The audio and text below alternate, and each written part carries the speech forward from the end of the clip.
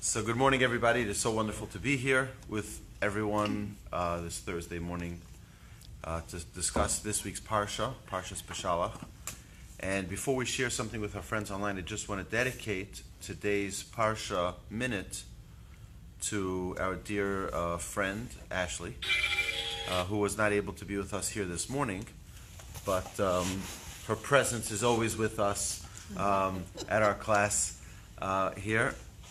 So this week's parsha we have uh, the Jewish people leaving Egypt, and uh, Vahi b'shalach Paro ta'am when Paro sends the Jewish people. So one of the things that we see, the Jewish people leave without provisions. They leave without food. They leave without drinks. They leave without all of their uh, planning. And you know it's very difficult to get Jewish people to go anywhere without you know packing food. Maybe that's the reason why you know since then, you know the Jewish mothers, my mother, you know, or my wife, uh, anytime I'm going any place, you sure you have food? Do you have enough food? You sure you don't want to take something with you?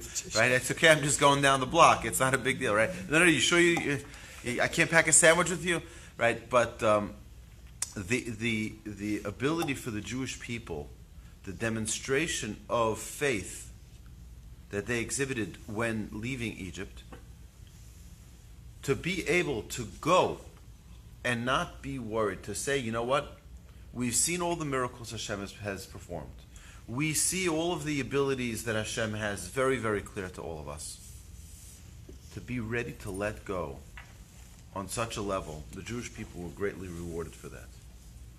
And that is to just, you know, we have this, this idea, we've mentioned this sometime in the past, that, um, you know, there's something called financial security. You know what financial security means? You know what it really means in a spiritual sense? Financial security means I don't trust God, right? And even God won't be able to get me to be impoverished. Uh, God won't get me to be able, right? Because I have financial security. I have a, a rainy day fund. Now, there's nothing wrong with having a savings account. There's nothing wrong with with with with uh, being uh, financially uh, cautious and planning. There's nothing wrong with that. On the contrary, we see from Joseph.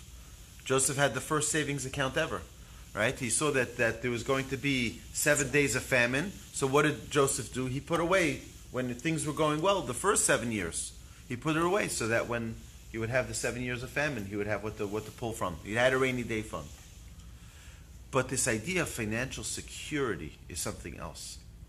And that's where people want to be God proof, where no tragedy, no calamity, no catastrophe, nothing can, can get in my way of having my financial security.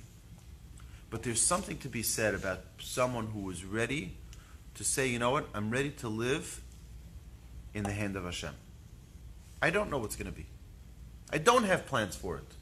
Imagine if the Jewish people were insistent on being financially secure before leaving Egypt. Right? They would never leave.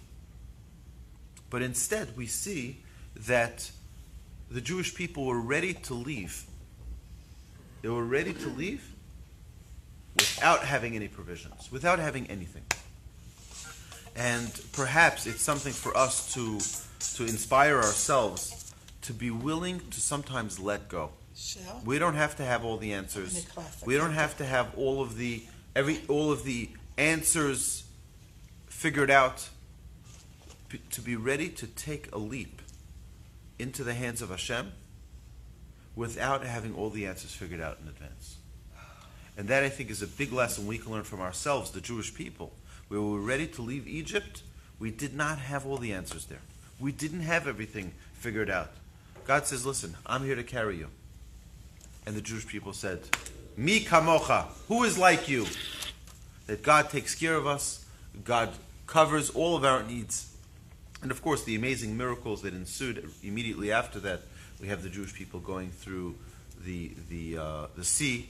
Each each they all went as one unit, but each one with their own separate identity. And it's also a very very important uh, uh, idea. The idea that you know what you're part of a Jewish people, but you also have your own personal identity. You have something special that you can contribute to the world. Hashem should bless us all and that's that. Um, what I'm referring to is that when the Jewish people went through the sea, and the sea split, It split into 12 different lines, each for each one of the tribes. Everyone had their own unique identity. Everyone had their own flag. Everyone had their own their own leader, but everyone was also part of one unit, part of one Jewish people. Either way, my dear friends, thank you so much for joining us for the rest of this wonderful program. You're welcome to join us here at the Torch Center every Thursday at 9:30 a.m. Have a magnificent day. Thank you for joining us.